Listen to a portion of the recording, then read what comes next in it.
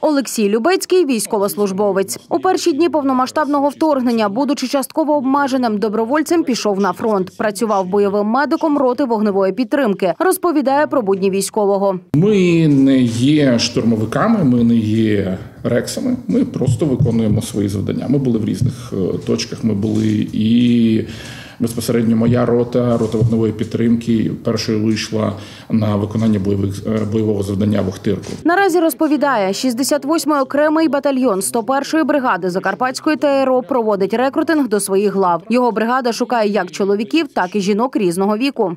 Ми е, зовсім не є, не належимо до структури ТЦК, е, тому що є ми безпосередньо батальйоном, і ми не ловимо людей на вулицях, не ганяємось за ними.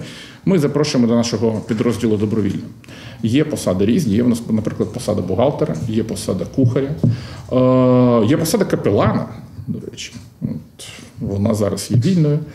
Е, Звісно, нам потрібні оператори дронів, е, зв'язківці, а медики, бойові медики. І це не значить, що нам що людина має бути з медичною освітою. Олексій каже, батальйон наразі забезпечений всім необхідним обладнанням. У нас є і бронежилети, і шоломи, і старлінки, і машини, і броньовані машини, і відповідно вся зброя, яка е, потрібна, в тому числі те, що стосується тактичної медицини. Ми пропонуємо гідну роботу, гідні умови праці, адекватне керівництво в особі командування. І, ну і звісно, і купа пригод. А От не без цього. Щоб доєднатися до ТРО, найперше треба пройти співбесіду, за результатами якої бригада формує відповідне подання до ТЦК.